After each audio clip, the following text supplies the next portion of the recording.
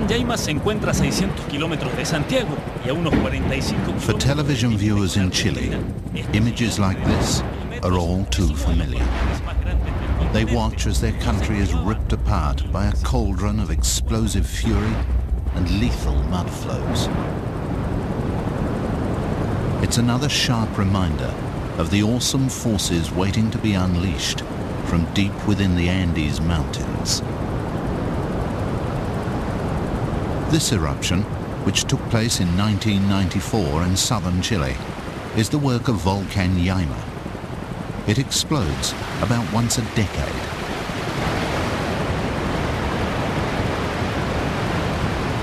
And nearby, there are more than 20 other volcanoes, all with similar destructive power.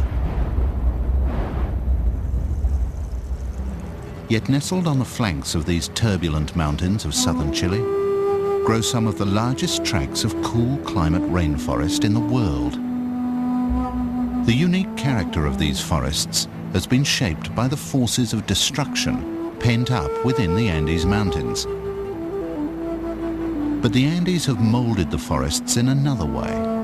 They're a barrier which isolates Chile from the rest of South America.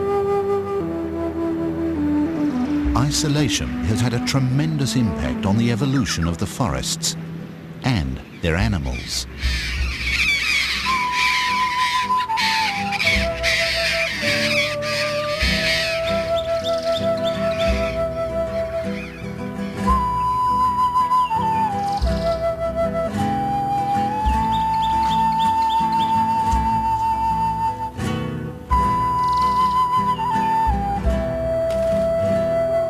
Mountain forests are dominated by Chile's greatest botanical gift, the ancient monkey puzzle tree.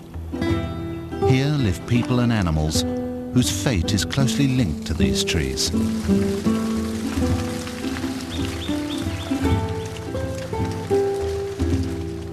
All the forests of southern Chile have shown a remarkable capacity for survival through long periods of isolation, upheaval and disaster. They are truly forests of defiance.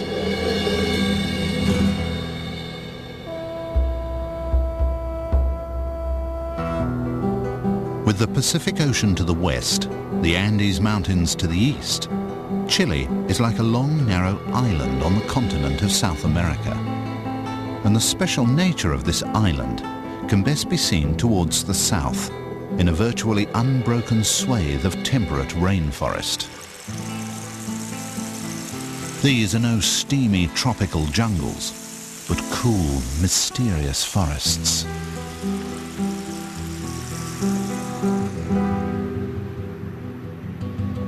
During winter, the Andes capture the moisture of westerly storms that roll in from the Pacific Ocean.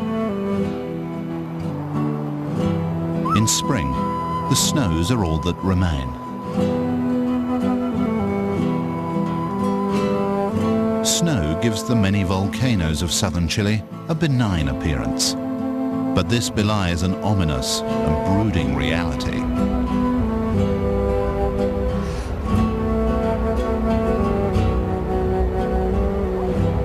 The volcanoes are pressure vents to relieve immensely powerful subterranean forces of collision. As two vast plates of the Earth's crust grind together, the Andes Mountains are thrust skyward.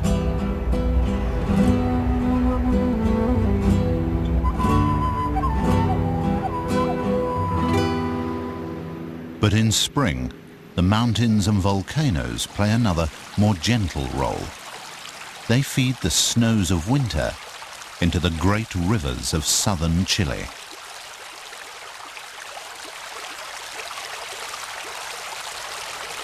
From babbling mountain streams to the ocean is a short distance of barely 60 miles. But on that brief journey, the rivers must descend 10,000 furious feet.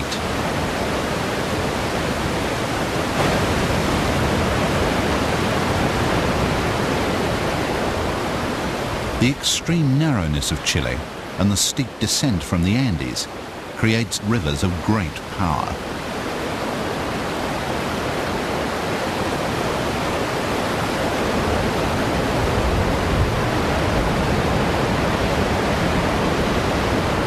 These are some of the most violent waters in the world and a home to some remarkable creatures. The torrent duck is one of the best exponents of whitewater endurance. Even chicks take on flows that would sweep away most other ducks. Parents keep a watchful eye as their youngsters search among submerged rocks for insect larvae.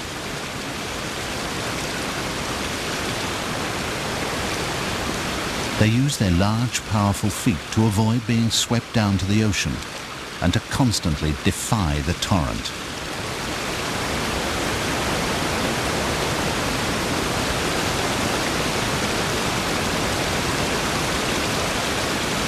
Torrent ducks are highly adapted to a place where specialization is essential.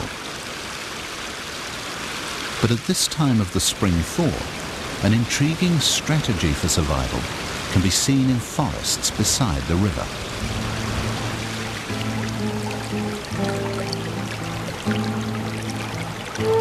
The forests are in full bloom. The most obvious colour is red, and the most common shape is a trumpet. Both are designs for success in the highly competitive world of flowers.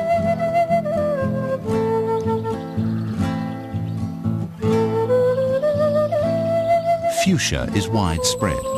This is its native home after all. But why are so many flowers in the forests of southern Chile bright red and trumpet-shaped? The answer is to be found among those who come to take nectar.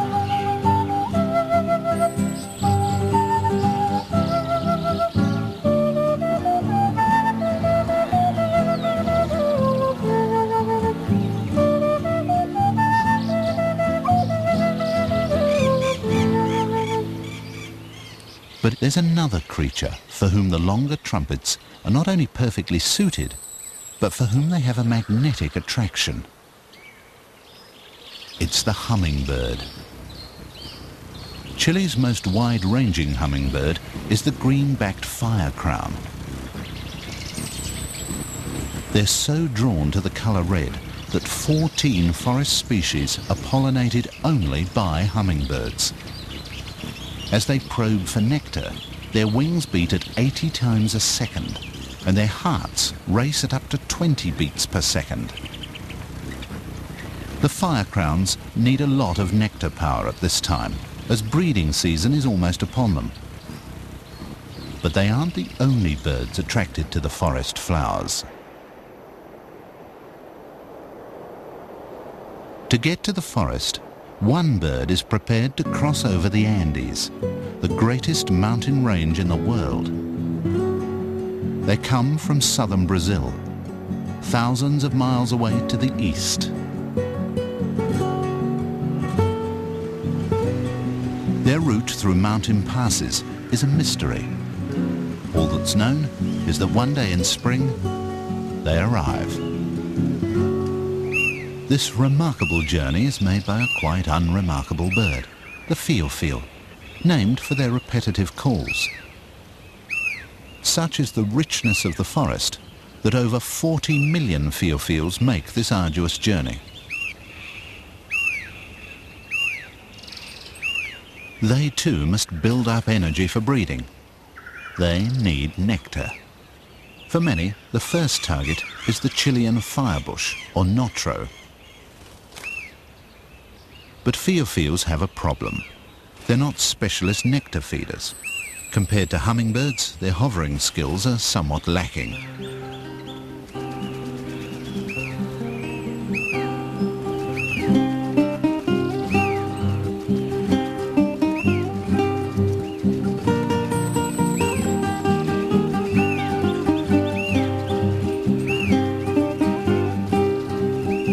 Fio-fio may visit five flowers in the space of a minute. A hummingbird visits 40.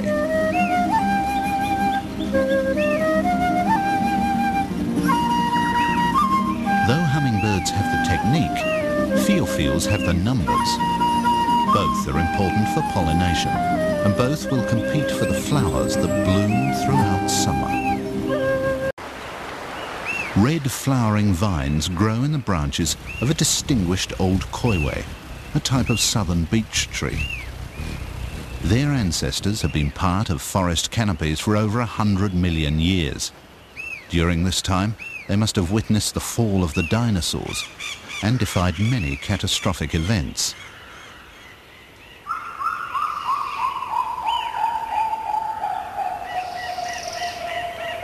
And in their deep shade, Others have long struggled for survival. 150 years ago, the great English naturalist Charles Darwin visited these rainforests. He hated their dreary dampness, yet he admired them.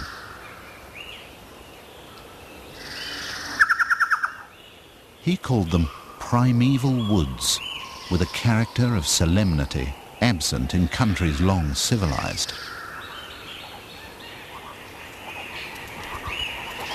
He described many strange and unique creatures.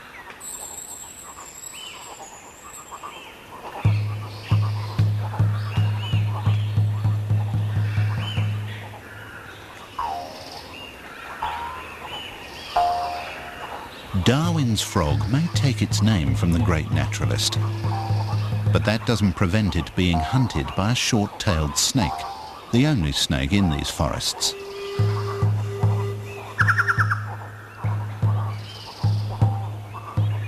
But Darwin's frog has a novel way of dealing with predators.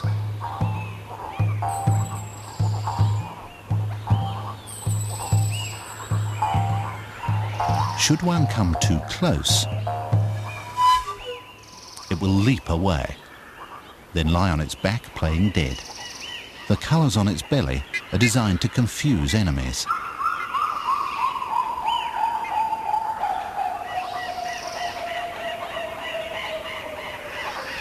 Only after some minutes and the disappearance of the snake does Darwin's frog complete its well-executed escape.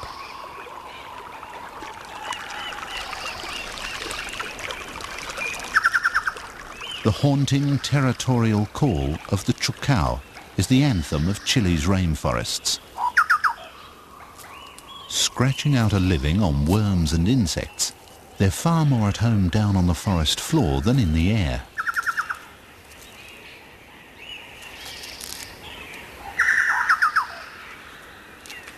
In common with many of the other creatures that have evolved in complete isolation from the rest of South America.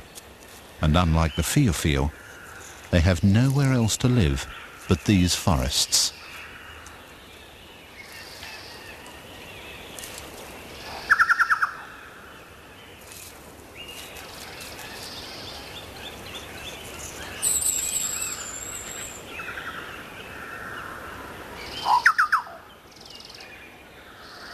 The ancestry of this free-living flatworm probably stretches back to a time when Chile, indeed all of South America, was part of a much larger ancient landmass, which eventually broke up. After that catastrophe, many inhabitants of the supercontinent found themselves in Africa, Australia, Antarctica, and of course here in South America where to this very day they continue their age-old struggles.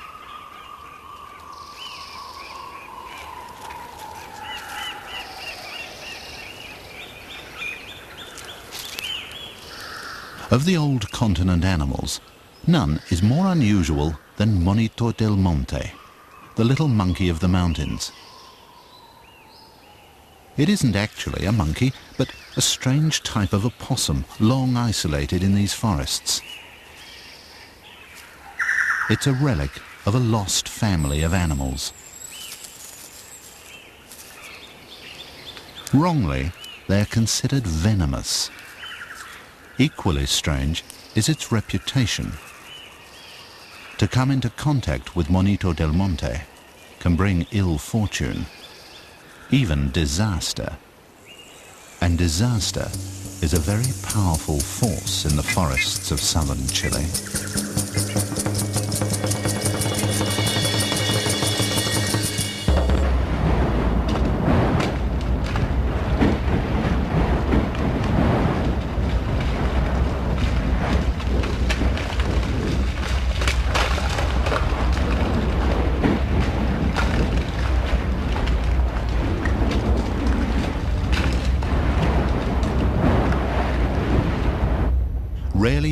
Goes by when one of the volcanoes of southern Chile does not explode, engulfing the forests in a deadly tide.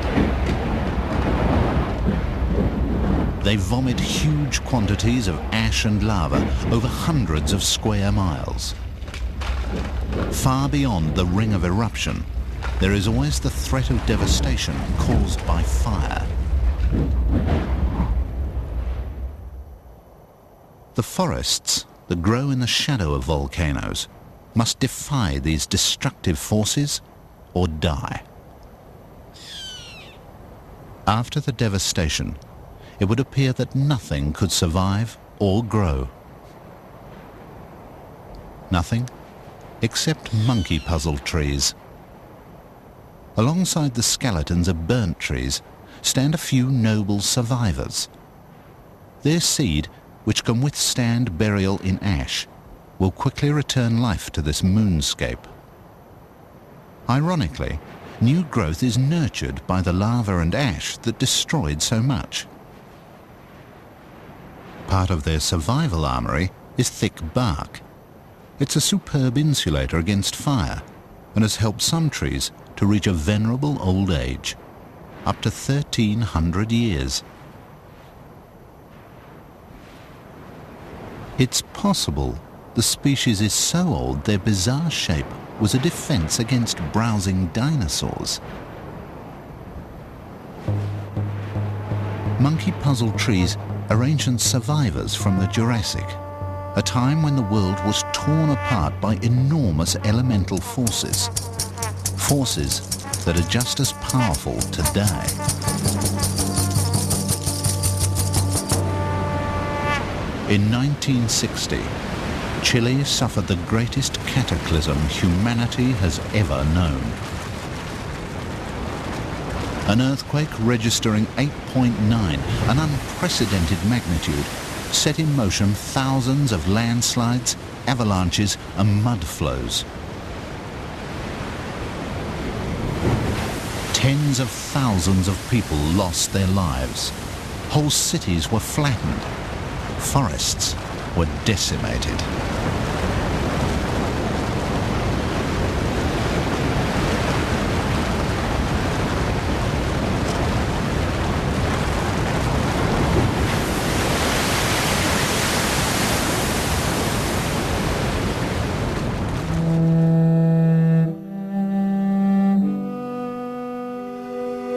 Nearly 40 years later, the chaos wrought by that earthquake can still be seen. This valley sank more than six feet, drowning over 12,000 acres of floodplain forest. As if in defiance, a new dynasty has arisen from the remnants of absolute disaster.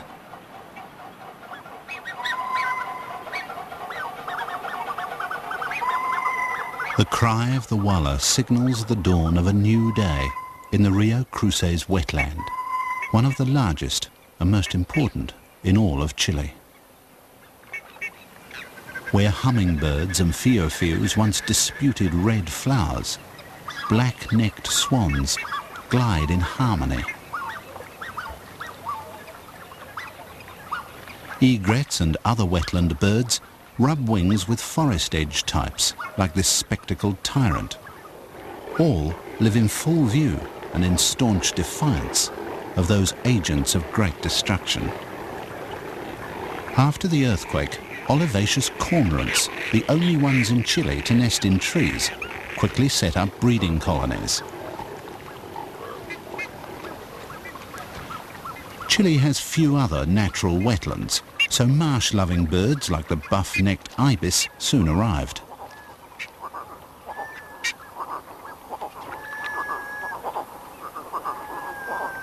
The shallow water between stumps and fallen logs makes good hunting ground and welcome cover. Numbers of many species are increasing.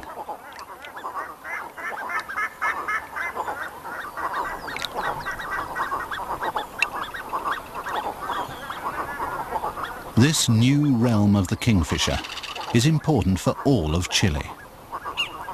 Rio Cruces gives hope for this whole new dynasty.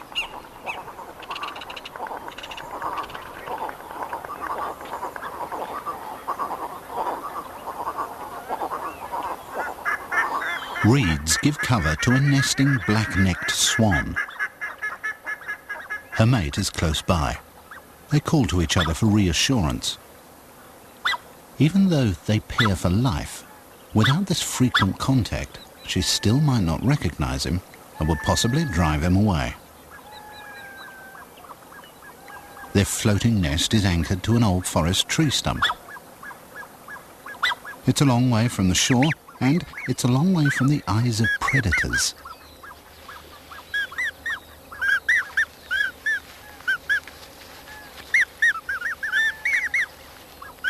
After hatching, the cygnets spend little time in the nest.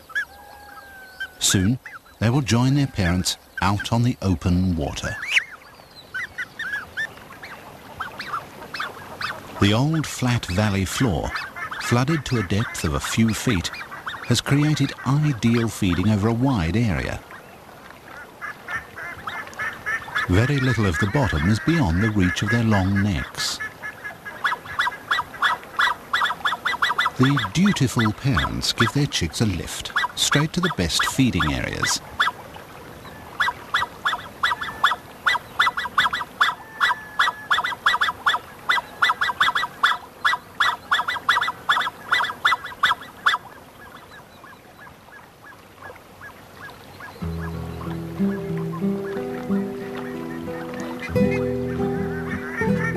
Since the wetland received official protection in the mid-1980s, black-necked swan numbers have increased from just 50 pairs to 500.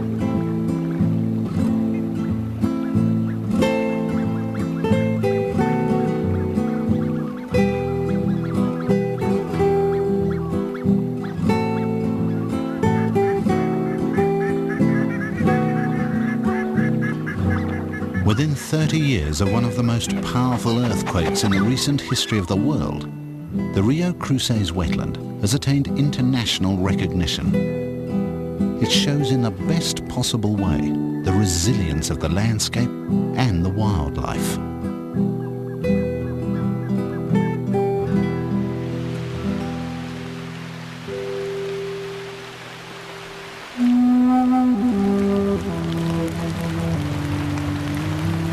This is the weather that southern Chile knows best. Rain. An average of 16 feet of it every year.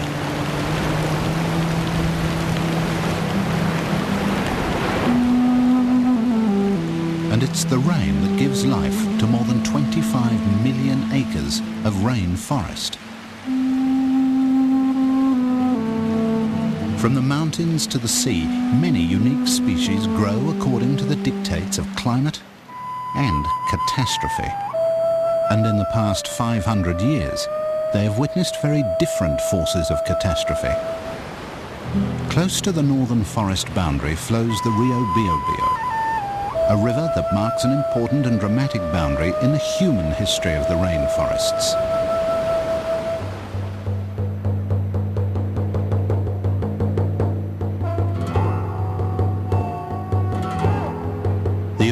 People of the forest were the Mapuche. Many lived by hunting and small-scale slash-and-burn agriculture. But 500 years ago, the world of the Mapuche was turned upside down by a series of catastrophic events. Spanish conquistadors swept out of control across the continent. Their goal was conquest. Their means were brutal. But in Chile's southern forests, they met their match. The Mapuche rose up and pushed back the Spanish all the way to the Rio Biobio. For three centuries, its powerful white waters became La Frontera, a border that the Spanish rarely crossed. And the Mapuche, who lived in the forests to the south, became the most feared of all the native peoples of the Americas.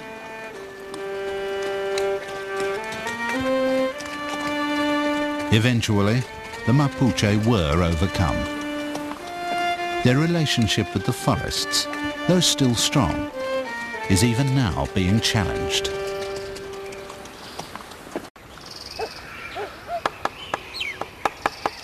It is high summer. A Magellanic woodpecker chisels at the trunk of a beech tree with great force. Each blow seems savage enough to cause brain injury, but woodpeckers possess within their skulls built-in head protection. The male has the bright crimson head plumage. The female is dark.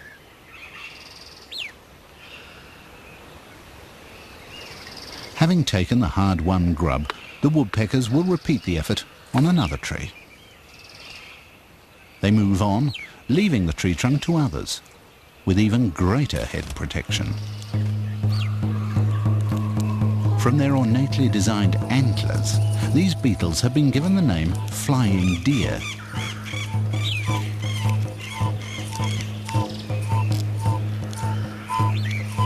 Their antlers which have developed from mouthparts, are now quite useless for feeding.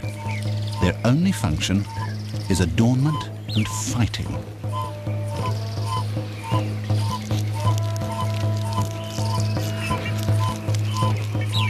These jousting bouts usually take place over ownership of something seemingly as mundane as a piece of tree bark.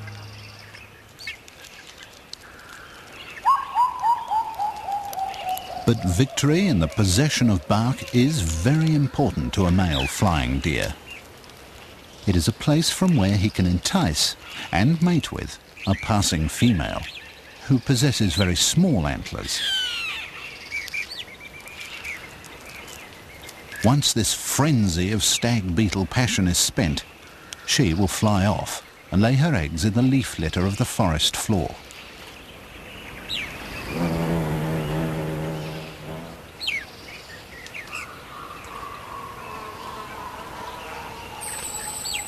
By this time, most hummingbird chicks have hatched in tiny, concealed nests way out on the ends of branches.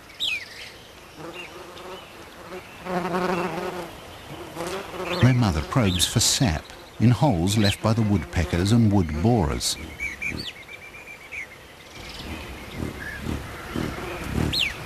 Though there are still plenty of red flowers about, Sap is a welcome source of minerals so necessary for the growth of her chicks.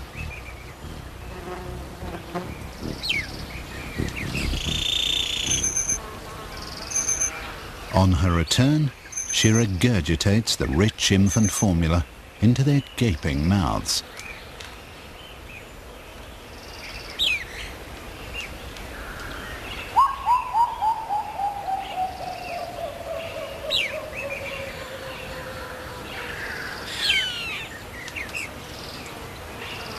Hers is just one of several nests in the territory of a single male hummingbird. He plays no part in the rearing of young. He is so intent on defending his territory that he's just as likely to flash his head feathers aggressively at his females as at any other bird. The intruders that he spends most of his time repelling are trying their best to raise a family nearby. Both male and female Fio-Fios work together to raise their chicks as quickly as they can. Cooperation is essential if the whole family is to be ready for the long journey back to southern Brazil in just six weeks' time.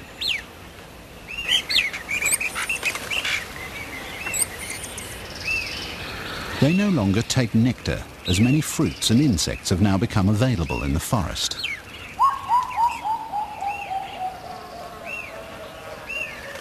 Feeding young isn't their only concern. The whole season's breeding effort can all too easily come to nothing.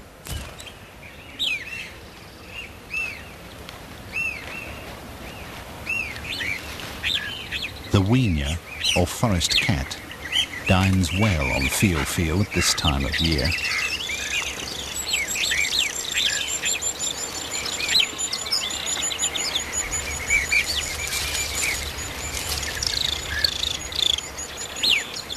With so many Fio-Fio in the forests of southern Chile, it's not surprising that they receive the close attention of predators.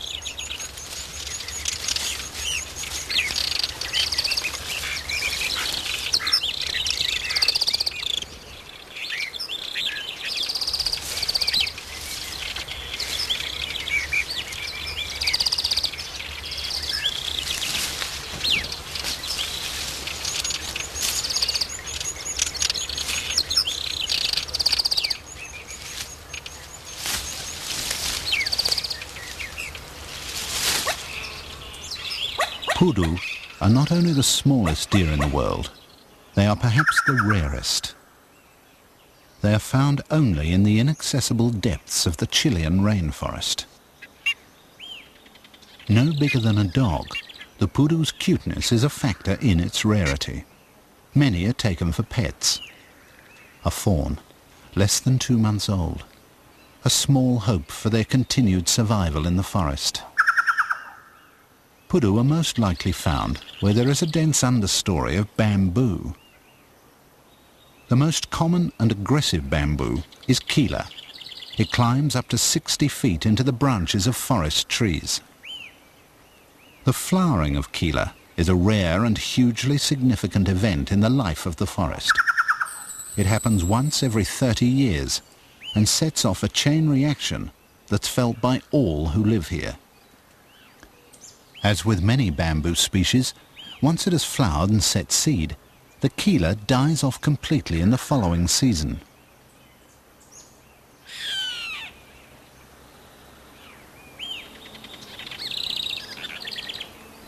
Everywhere there is dead and dying vegetation.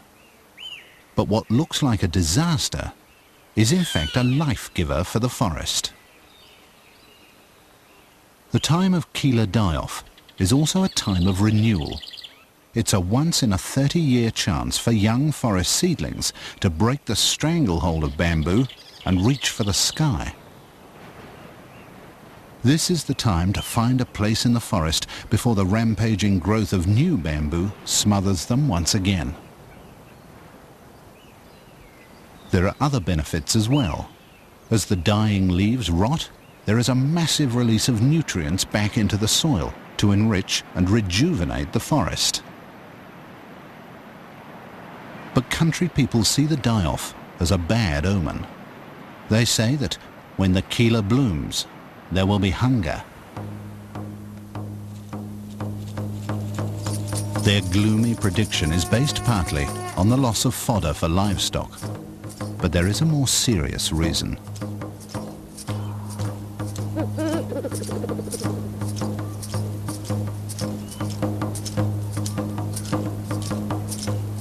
After flowering, a phenomenal amount of highly nutritious seed is produced. And the seed becomes a magnet for the unwanted. They call this ratada, the rat plague. All sorts of rodents, but mainly long-tailed rice rats and olivaceous field mice, turn this once-in-three-decade seed bonanza into an explosion of rodent babies.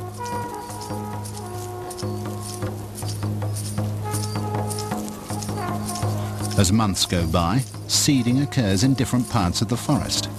The ratada moves on, eating everything in its path and multiplying.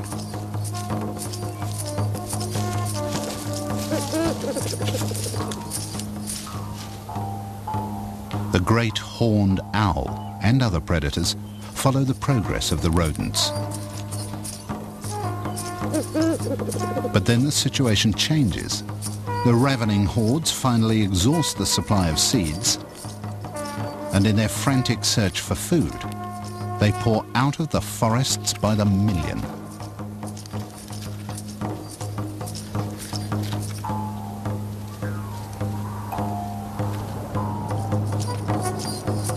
They invade farmhouses and barns.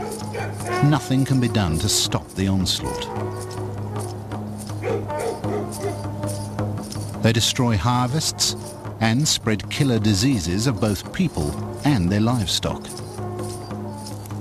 This plague of rodents and the loss of harvest and stock food, combined with the great risk of disease, is why country people say that there will be hunger when the Quila flowers.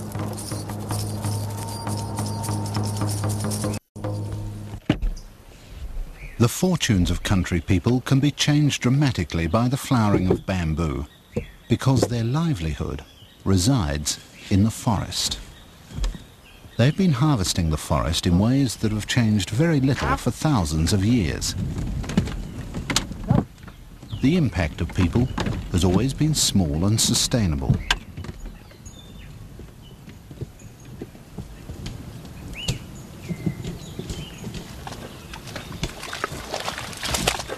Earlier this century, the nature of the relationship changed dramatically.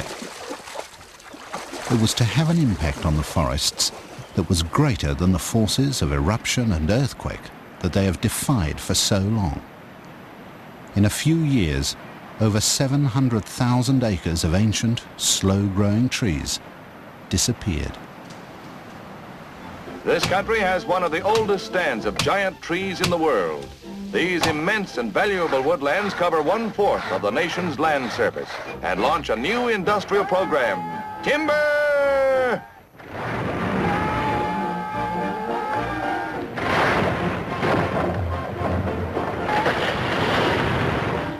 Winter takes over North America, but this is summer on the slopes of the Andes. Sawmills are in full operation to play a major part in logging, conducted in cooperation with the United States Forest Service. Mmm. Mmm. These Chilean boys give their all. Roll 'em, boys, roll 'em. And here she goes, ready for the saw.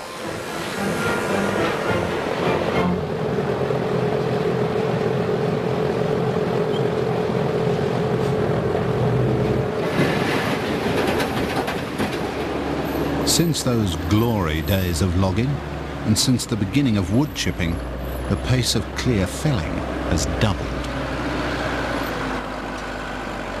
Huge steaming piles of wood chips awaiting export in the ports of South Chile are but one symbol of the fate of the 45% of the country's native forests which have already disappeared.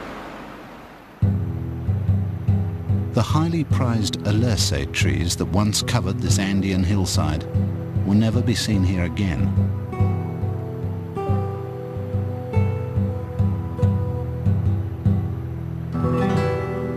Their growth rate is so incredibly slow that a tree is at least 200 years old before it produces seed.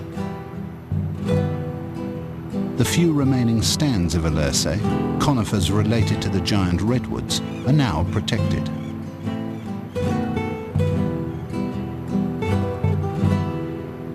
This Alerce is one of the oldest trees in the world.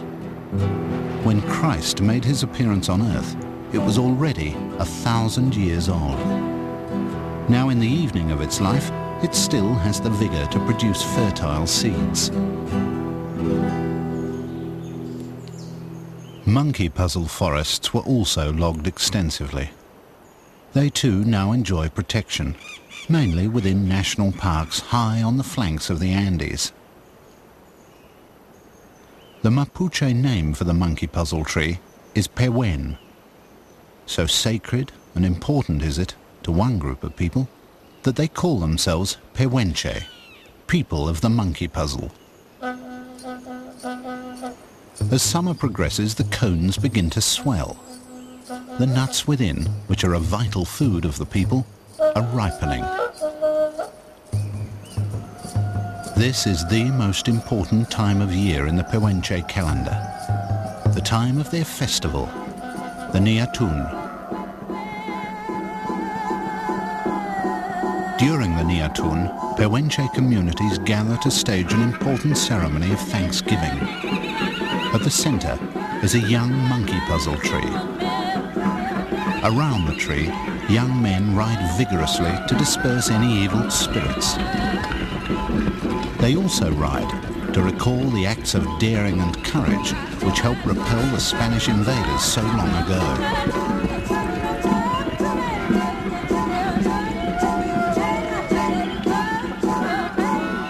They come together for two or three days to give thanks to the tree at the center of the ritual and at the center of their lives.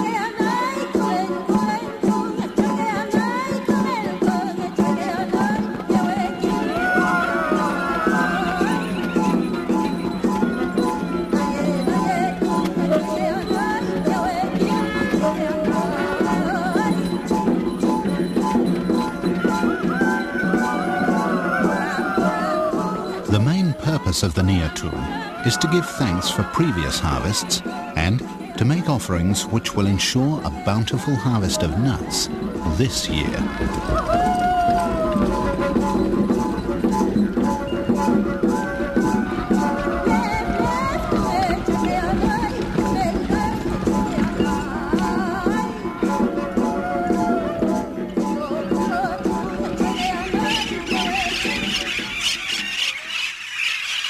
Few weeks later, another festival of the trees takes place among flocks of screeching austral parakeets. They're the first to announce to the forest that the pignons, the monkey puzzle nuts, are ready to be harvested. This is an event of great importance, not only to the Pehuenche, the monkey puzzle people, but to many animals of the forest.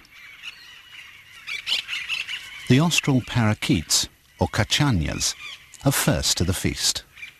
They use their strong, powerful bills to bite into the cone and then crunch down on the nuts within.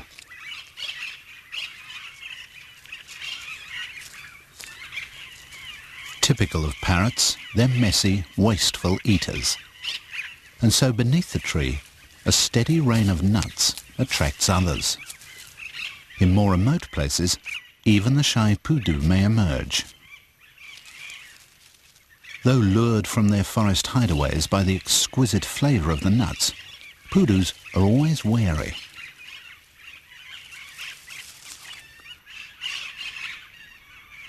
Such is the attraction of the pignons that the rare Darwin's fox will ignore the pudu and tuck into this nutritious nut feast.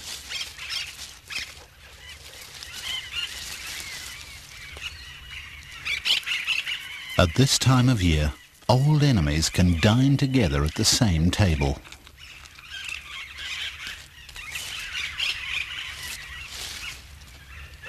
The nuts so enjoyed by so many animals are, of course, the monkey puzzle tree's seeds, and the austral parakeets play a vital role in spreading them. In this, they're assisted by tunducos, another of the many South American rodents. They will obligingly take the nuts away and cache them for the winter. But as they usually forget where they've hidden them, Tunducos play their part in planting seeds for new generations of monkey puzzles.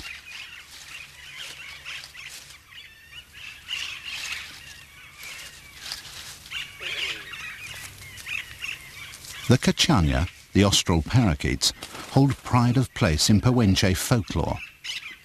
Their screeching calls and poor table manners also lead people to well-laden trees.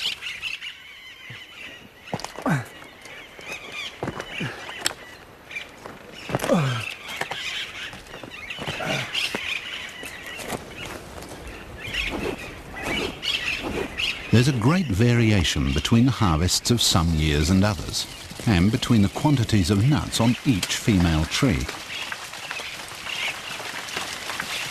The nuts of the monkey puzzle tree have long made life possible here in the foothills of the Andes. But there is a paradox here. The Niatun remains a vital and ancient ritual designed to give thanks for the harvests past and future but the relationship is changing. The trees are being asked to produce more than the people need. Increasingly, the nuts are being gathered and sent to markets, where they are highly sought after and can earn much needed cash. But this means the Pehuenche are gathering more nuts each year and the supply may not be guaranteed either by the trees or by the annual ritual of the Niatun.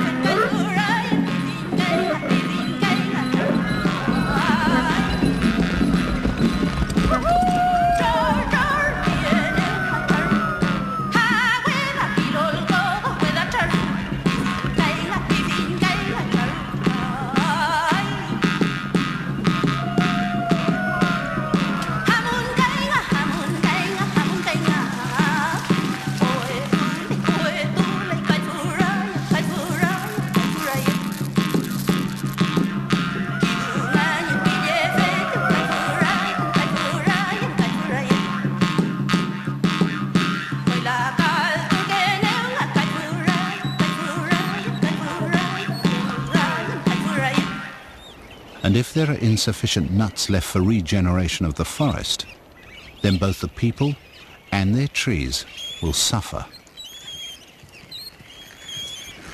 A month later, the pignon harvest is finished, but other trees are still fruiting. The cachañas are still announcing to each other and the forest each new crop.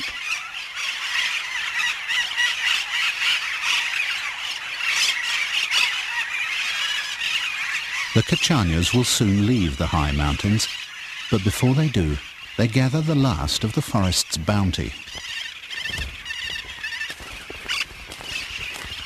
Her mother can still find seeds for her chick, which is now ready for flight.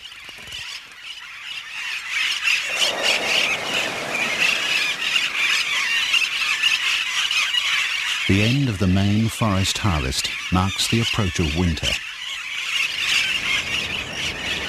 Powerful rivers are now placid. The mountain snows have all melted, but the trees are again beginning to turn red.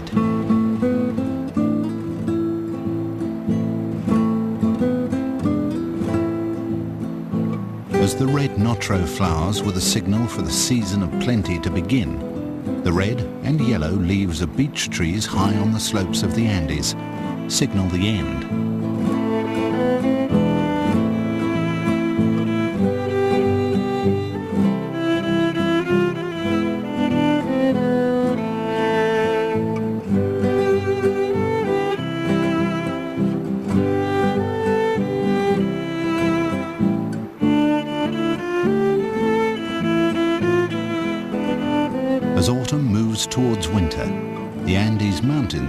dusted by the first snows. This is the signal for the elusive Andean deer, or huemul, to come down from summer heights and make their way into the depths of the forests. The huemul is one of Chile's national icons. It even graces the Chilean coat of arms. Yet that's about as close as most Chileans will ever get to it.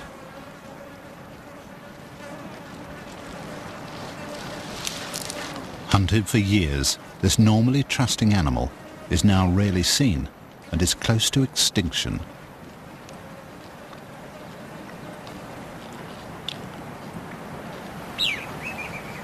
Fortified by their time in the forest, most of the Fio-Fios have completed nesting and are preparing for their epic journey back to southern Brazil. In the tightening clinch of winter, the Fio-Fios must ascend to 12,000 feet to find their way through the mountain passes. For such a small bird, it's an incredible journey in defiance of the elements.